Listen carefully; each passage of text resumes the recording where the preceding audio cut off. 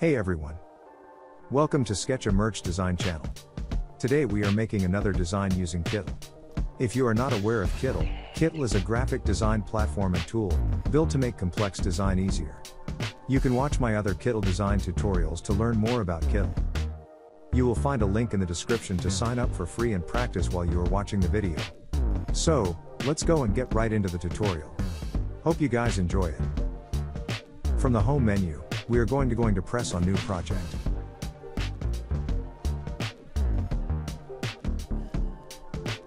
From the upper menu, we are going to change the dimensions of our artboard. We are going to enter our customized dimensions, which are 4500 by 5400 pixels. I always like to work with these dimensions when designing because it fits most of the print-on-demand platforms. You can change the color of your artboard by clicking on it and choosing the color you want from the right menu.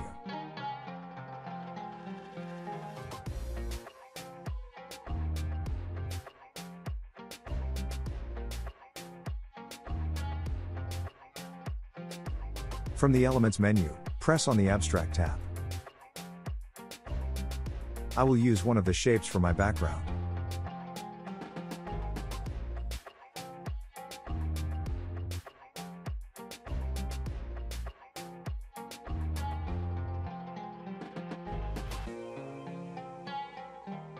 Then, I will change its color from the right menu.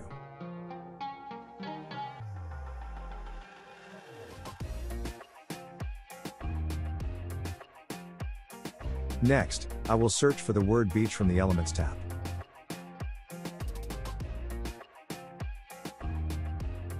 I decided to use this van as my main design element. But, the colors of the van need to be changed. This graphic has many colors as you can see. So, I will change each color to fit my design. You can do that through the upper right menu.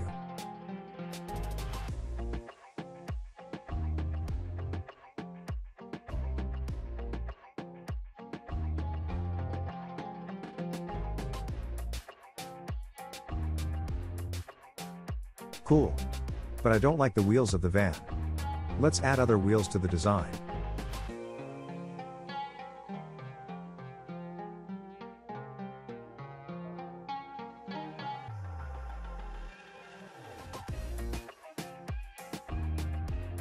I will pick one color from the document palette menu. The document palette is automatically generated by Kittl and contains all the colors used in the design.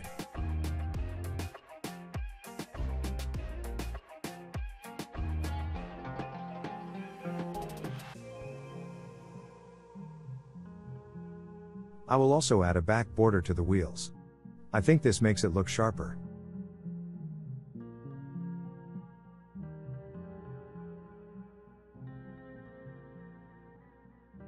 Now, let's add a sunset background to our design.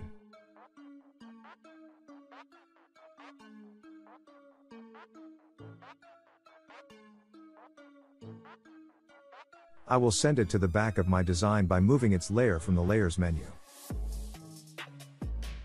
This menu will help you to understand where each design element is located on your artboard.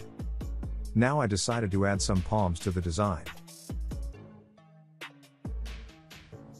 You can expand your search menu by clicking on the right side of the search menu.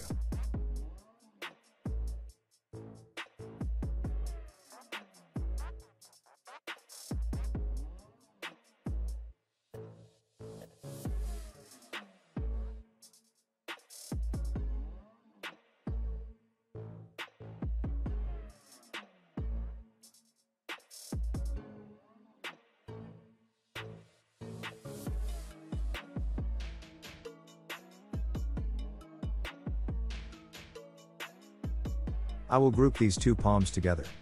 You can do that by right clicking with your mouse on the graphic and clicking group or ungroup. Just make sure to select all the elements first. Also, you can change the name of each layer for easier reference.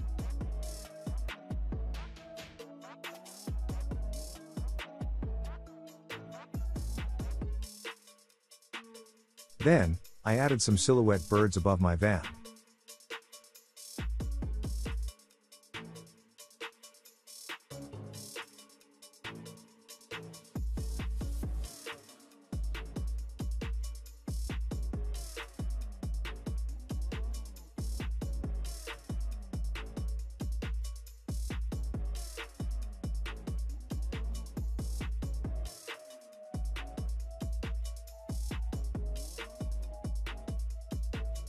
After that, I found better palm graphics.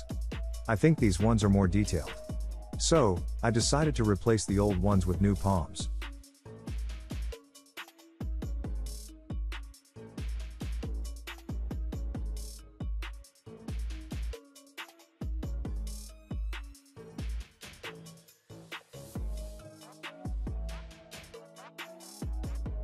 I have also added more palms to the upper part of the design.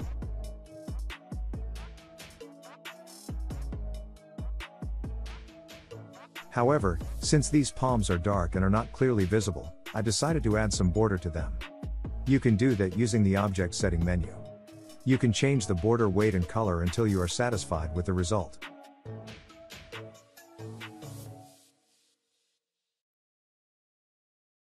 Now it is time to start adding our text.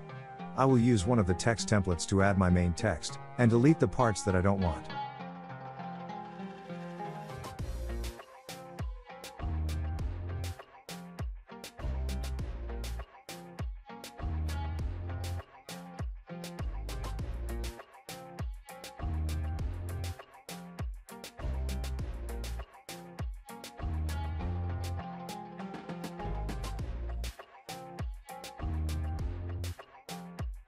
Then, I decided to add some effects to the text.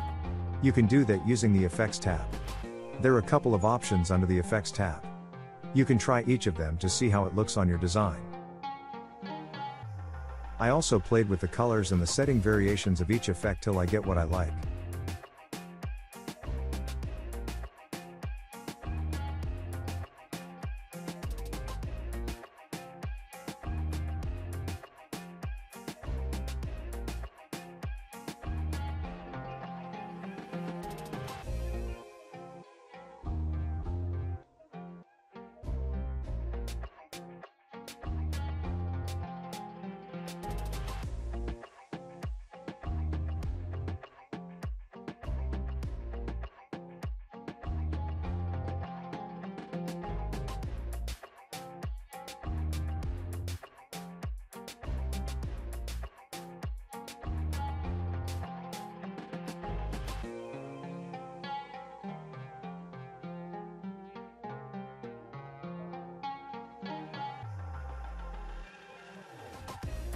I have added another text.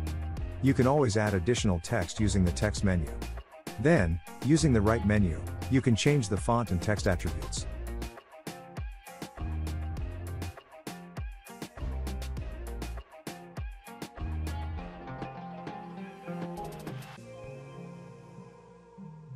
I played with the transformation options and tried a couple of choices.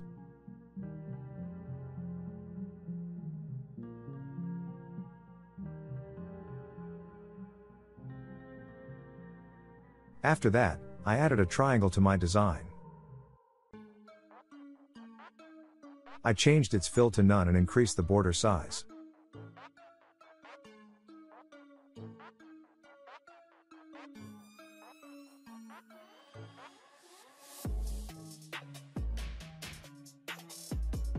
Now, I duplicated the word California.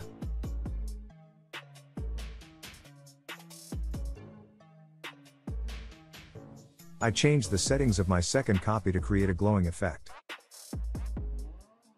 So, I decided to play with the shading setting. I increased the blur bar to the maximum to create this glow effect under my first California layer.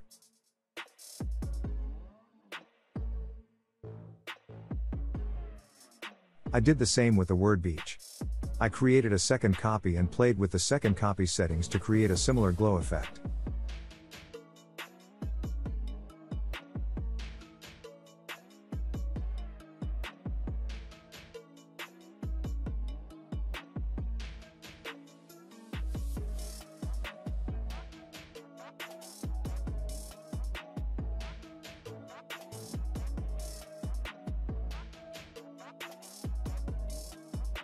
Then, I decided to add some additional birds to the design. I searched for the word egret.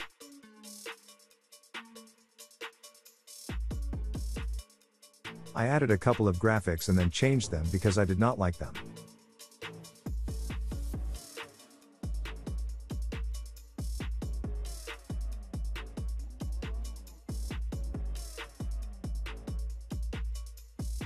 Finally, I decided to use this one and increase its border size.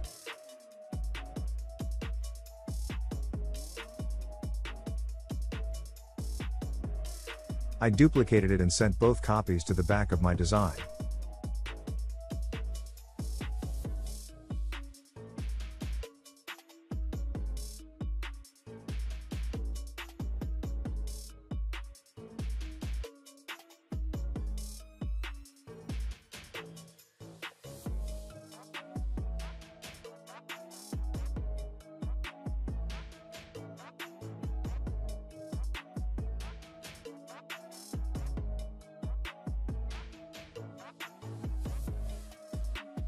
We are almost there.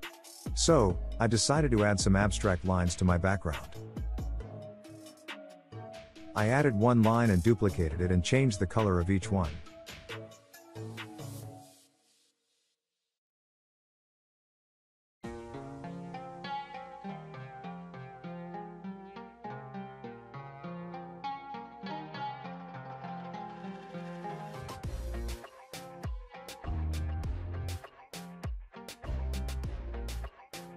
I also changed the opacity to make them not so sharp.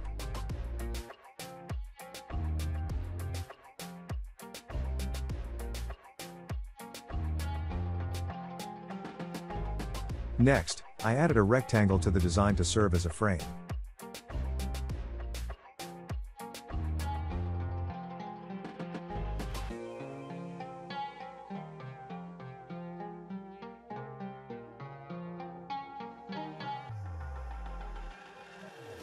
I added a duplicate copy of the lines to the lower part of my design to fill the empty space at the back.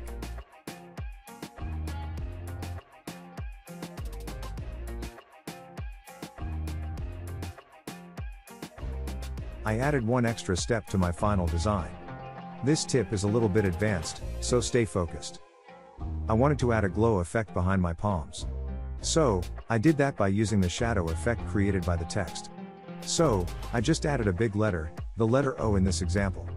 Then, I tried to use its shadow effect to create a glow.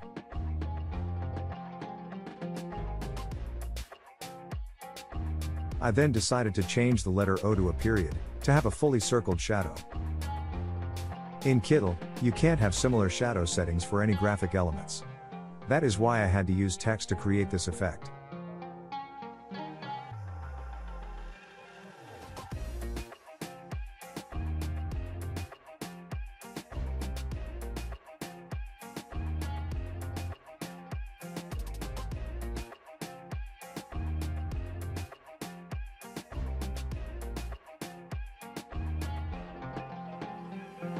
Then I placed my shadow at the back of the palms. Now your design is ready.